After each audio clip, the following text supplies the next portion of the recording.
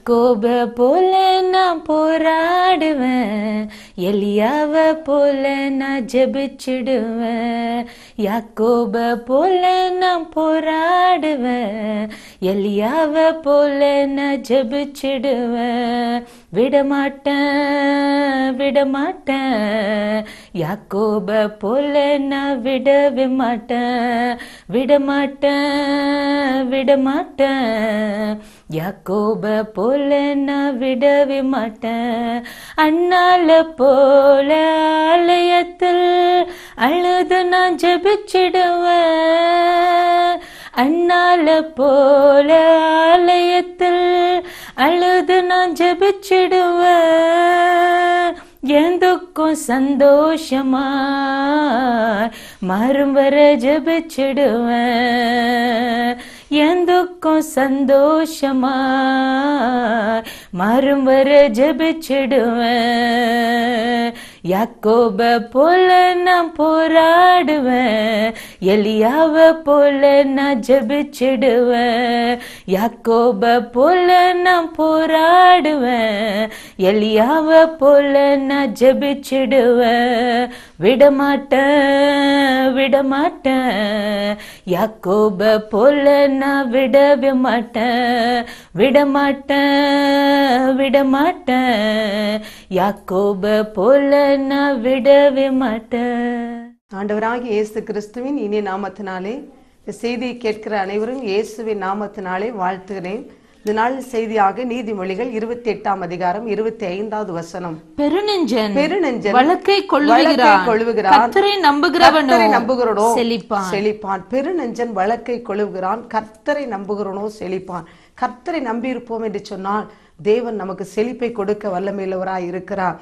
Mark எழுந்த சுவிசேஷம் ஐந்தாம் அதிகாரம் இருபத்தி ஐந்து டு முப்பத்தி நாலுல பார்க்கும் பொழுது அப்பொழுது அப்பொழுது பனிரெண்டு வருஷமாய் பன்னிரண்டு வருஷமாய் பெரும்பாடுள்ள பெரும்பாடுள்ள ஒரு ஸ்திரீ ஒரு ஸ்திரீ அநேக வைத்தியர்களால் அநேக வைத்தியர்களால் மிகவும் வருத்தப்பட்டு மிகவும் வருத்தப்பட்டு தனக்கு உண்டானவைகளை எல்லாம் தனக்கு உண்டானவைகள் எல்லாம் செலவழித்தும் செலவழித்தும் சற்றாகிலும் குணமடையாமல் சற்றாகிலும் குணமடையாமல் அதிக வருத்தப்படுகிற பொழுது அதிக வருத்தப்படுகிற பொழுது இயேசுவை குறித்து இயேசுவை குறித்து கேள்விப்பட்டு கேள்விப்பட்டு நான் அவருடைய வஸ்திரங்களை ஆகிலும் நான் அவருடைய வஸ்திரங்களை ஆகிலும் தொட்டால் தொட்டால் சொஸ்தமாவேன் என்று சொல்லி ஜனக்கூட்டத்துக்குள்ளே அவருக்கு பின்னாக வந்து அவருடைய வஸ்திரத்தை தொட்டால் உடனே உடனே அவளுடைய உதரத்தின் ஊரல் நின்று போயிற்று. அவருடைய உதரத்தின் உடல் நின்று போயிற்று. அந்த வேதனை நீங்கி வேதனை நீங்கி ஆரோக்கியம் அடைந்ததை அடைந்ததை அவள் தன் சரீரத்தில் உணர்ந்தாள். தன் சரீரத்தில் உணர்ந்தாள். உடனே உடனே இயேசு தம்மிலிருந்து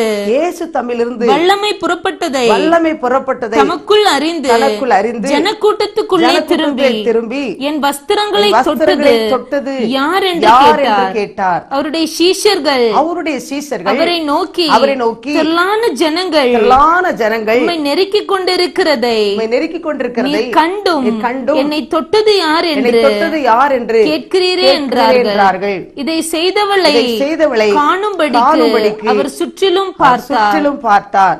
தன்னிடத்திலே சம்பவித்ததை அறிந்த சம்பவித்ததை அறிந்த அந்த ஸ்திரீயானவள் பயந்து நடுங்கி நடுங்கி அவர் முன்னாக வந்து விழுந்து உண்மையெல்லாம் உண்மையெல்லாம் அவருக்கு சொன்னார். அவர் அவளை பார்த்து அவர் பார்த்து மகளே அவர் அவளை பார்த்து மகளே உன் விசுவாசம் விசுவாசம் உன்னை ரட்சித்தது. நீ சமாதானத்துடனே போய் சமாதானத்தோடே போய் உன் வேதனை நீங்கி வேதனை நீங்கி சுகமாயிரு சுகமாயிரு என்றார். பாருங்க இதுல பெரும்பாடுள்ள ஸ்திரீ பனிரெண்டு வருடமாய் பெரும்பாடுள்ள ஸ்திரீ பார்த்தீங்கன்னா பன்னிரண்டு வருடமாய் பெரும்பாடுள்ள ஸ்திரீயாய் காணப்படுகிறார். இதனால பாருங்க செய்தியை நான் எடுப்பதற்கு முன்பாக ஒரு சகோதரி அவர்கள் பனிரெண்டு நாளாக எனக்கு உதிரப்போக்கு நிற்கவே இல்லை. தொடர்ந்து உதிரம் அதிகமாய் போய்க்கொண்டே இருக்கிறது.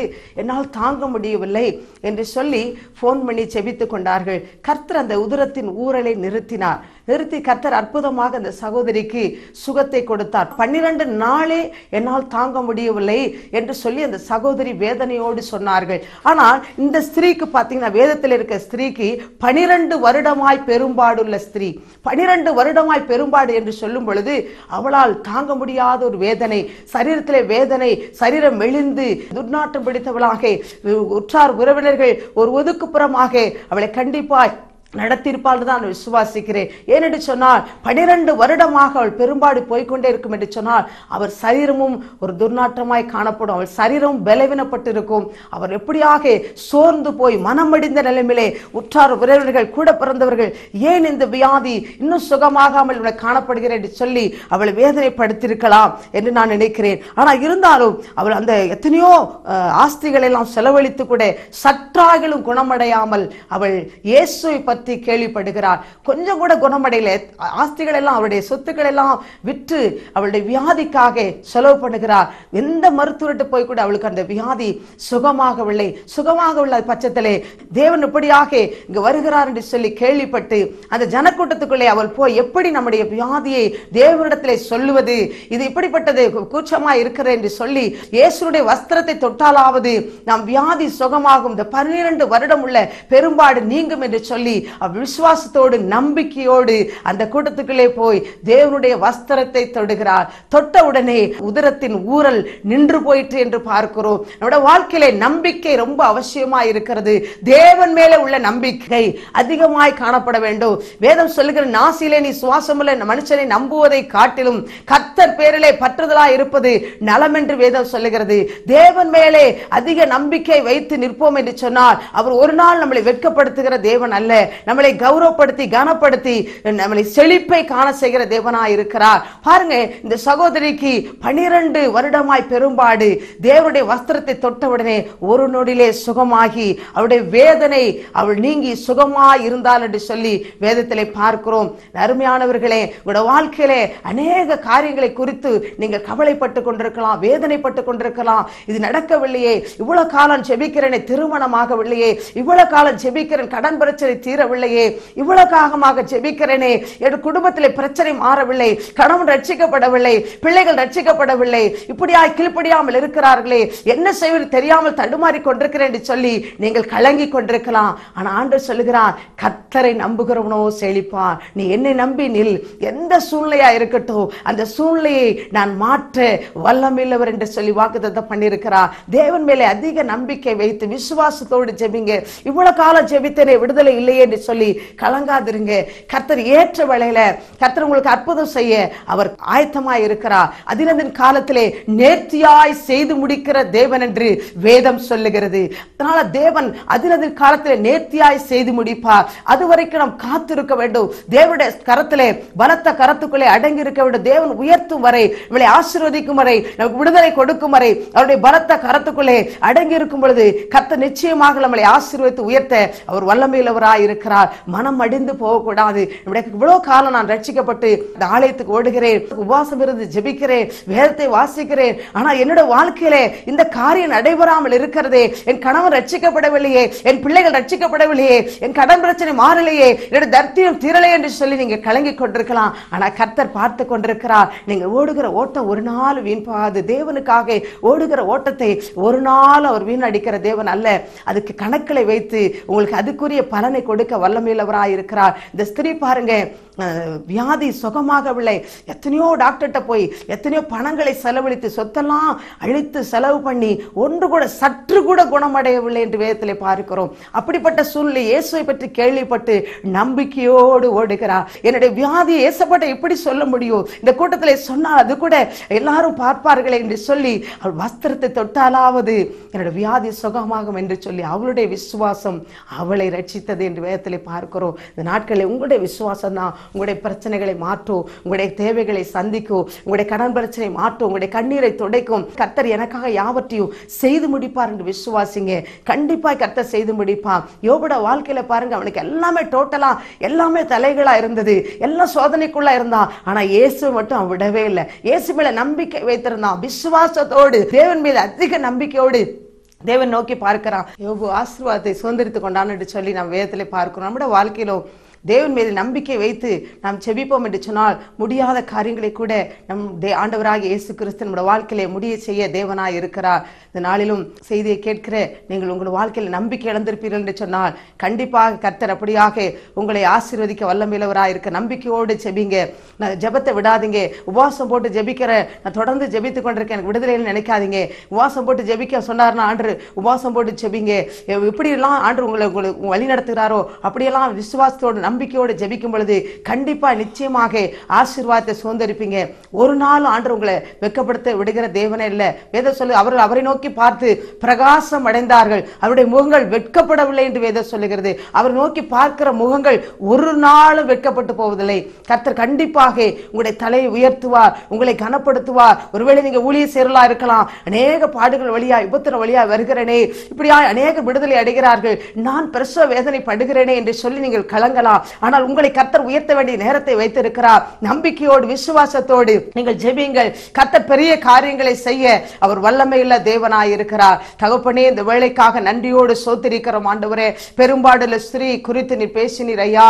கத்தாவே நம்பிக்கையோடு கத்தாவே கத்தாவே பெருநஞ்சன் வழக்கை கொள்ளுகிறான் கத்தரை நம்புகிறவனோ செழிப்பான் என்ற வசனத்தின்படியாக கத்தரை நம்பி இருக்கிற பிள்ளைகளை செழிக்க செய்கிற தேவனாய் இருக்கிறீரப்பா அந்த பெரும்பாடுள்ள ஸ்திரீ கத்தாவை பனிரெண்டு வருடமாய் பெரும்பாடு உள்ள ஸ்திரியா இருந்து கத்தாவை எத்தனையோ பணங்களை செலவழித்து அவளுக்கு சற்றாயிலும் குணமாகாமல் அன்று இயேசுவை பட்டு கேள்விப்பட்டு அவருடைய வஸ்திரத்தை தொட்டாலாவது சுகமாகும் என்று நம்பிக்கையோடு கடந்து வருகிறார். அவருடைய நம்பிக்கை வீண் போகாதபடி அவருடைய சரீரத்தில் ஒரு செழிப்பை விடுதலை ஒரு சமாதானத்தை கொடுத்தீரப்பா.